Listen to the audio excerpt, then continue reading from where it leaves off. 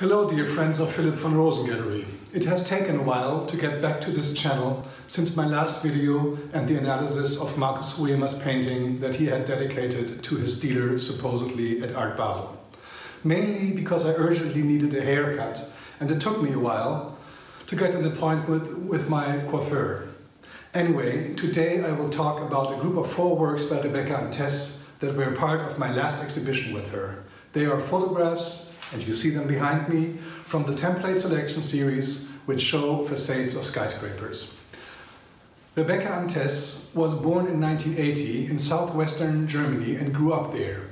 She began her studies at the University of the Arts in Berlin in the class of Bernd Koberling, a painter of the so-called Neue Wilde, who had great visibility in Germany in the 1980s.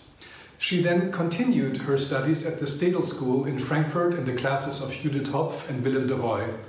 And she graduated in 2009 with a large installation that was part of a trilogy that explored gender issues and the history of film and television using installation means and video film.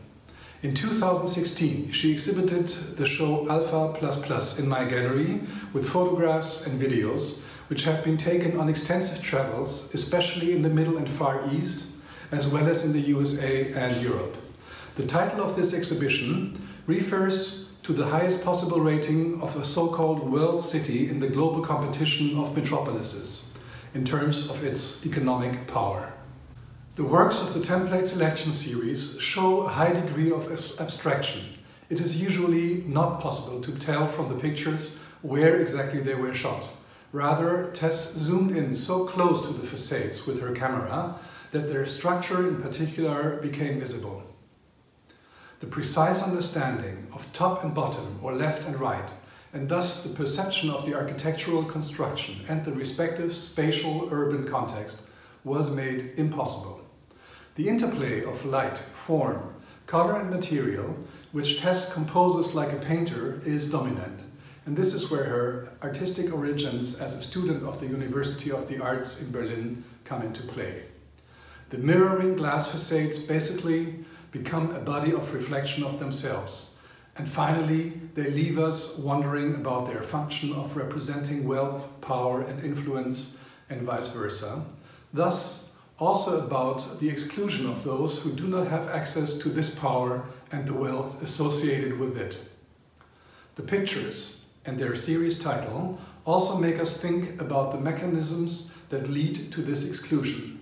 Size, height, building materials all contribute to keeping a distance respectively out the unwanted. The group of four works from the series shown here can be shown in this formation but does not have to be shown as such. Each of it is a single independent artwork. The buildings are located in Chicago, Seoul, again Chicago, and Kowloon, Hong Kong.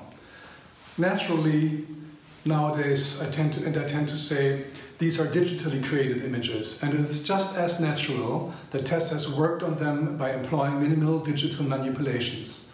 At the same time, it can be said that the biggest change can be seen in obscuring what we see working against the readability.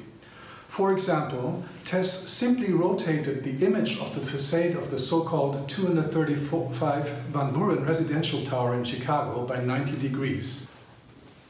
The balconies that in real life emerge horizontally from the facade become vertical elements that structure the image.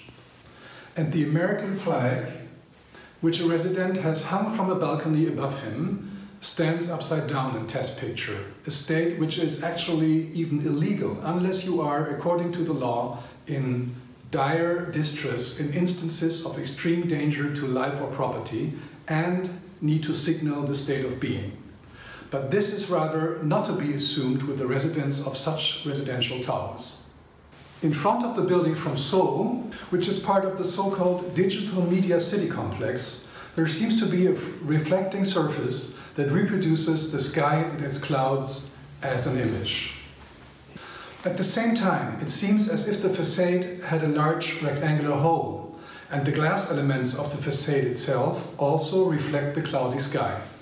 In any case, it never becomes quite clear how exactly the reflecting surface and the facade relate to each other and what, is, what this reflecting surface actually is or could be. Even more obscure is the picture that was taken at Ludwig Mies van der Rohe's Federal Center in Chicago. We think we are looking up, but what we see there is not clear. The picture is dominated by, by diagonal lines running through the image in a tightly staggered fashion, like a blind. Obviously, at right angles to them are the supporting beams, and behind this technoid veil, a facade becomes visible, which in turn is horizontally structured. But all these explanatory moments do not allow us to really recognize where we are.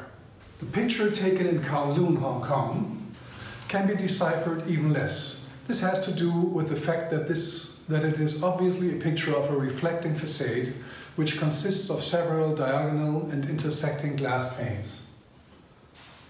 If you take the trouble to search the internet for the, in mirror writing, readable lettering, which characteristically is alchemy, and the indication Kowloon, Hong Kong, then you can identify the house that is reflected in the photographed facade. And then you know that alchemy is a company that strives to beautify man and woman, and that the picture has been rotated, again, by 90 degree. You can also see that there are screens installed under the alchemy lettering, which probably show moving images 24 on 7. And finally, you can find the facade that reflects all this, a Burberry shop across the street. But without this aid, the image remains basically unreadable. The lack of legibility or the impossibility of deciphering the pictures, I would like to repeat here once again, makes them basically photographic paintings. The images were printed on a lightly grained photographic paper using pigmented inkjet printing.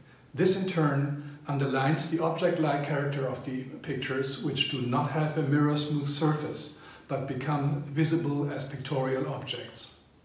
The steel frames that Tess has opted for also correlate with this. From this impetus, it is logical that the photographs are not framed under glass. The works in the template selection series can be seen equally as critical analytical representations of real estate, which has an excluding effect and makes it clear to all of us whether we are part of the economic power or not. But instead of being merely repulsive as a sign of the superiority of a global turbo-capitalism, the photographs play with the allure of success, glamour, power, dominance and hierarchy on the one hand, and the horror and humiliation with which these characteristics are associated on the other hand.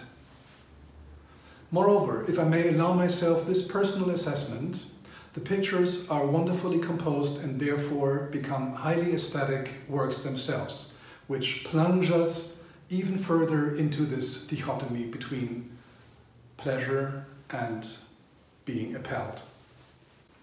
I will conclude by mentioning two more practical aspects. First, Tess has decided for a total of five copies for the photographs in the template selection series.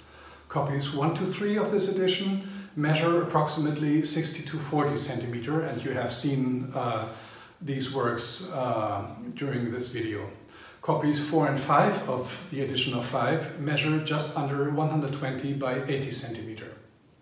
And the second practical aspect is, on June 26, 2020, I will open my fifth exhibition with Rebecca Ann Tess. Again, it will be about the real estate theme in the broadest sense, and again, it will mainly be photographs that we are showing.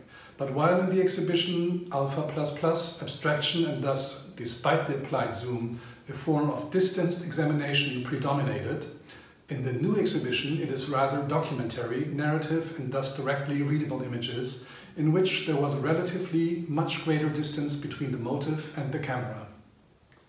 I hope that you will come to the exhibition from June 26 through August 29 or, should that not be possible, that you will look at the documentation of the exhibition.